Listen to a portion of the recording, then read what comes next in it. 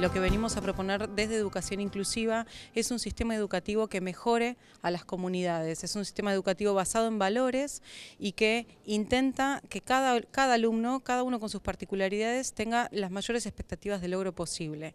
Así que e, este es un sistema que está comprobado que es el mejor sistema educativo para eh, dar cumplimiento a un derecho humano fundamental que es el derecho humano a la educación. Creo que este es uno de los mayores desafíos que tenemos, o sea, porque justamente nosotros hemos transitado la escuela, o sea, como alumnos, y nos hemos formado en un determinado sistema con una determinada práctica que la tenemos introyectada. Entonces ahí está el desafío, o sea, ahí está y esta contradicción que a veces nos da lo que viene como más naturalizado, que tenemos naturalizado nosotros porque fue nuestra forma y poder ajustarnos a las necesidades, o sea, que tienen los chicos hoy de aprender que son muy distintas a las que tuvimos en ese momento. Una persona con autismo es solamente nada más y nada menos que eso, que es una persona. Ser respetuosos, o sea, con esta variabilidad, ¿no? En la que, en la que esta forma de ser, o sea, se, se, se manifiesta la propia realidad nos obliga éticamente a generar estos cambios que hagan que el centro seamos las personas, sea nuestro bienestar, sea la felicidad y sea realmente el potenciarnos mutuamente, entendiendo que cada uno forma parte, que cada uno es valioso y que no podemos, no, no, no podemos ni éticamente ni realmente dejar a nadie afuera.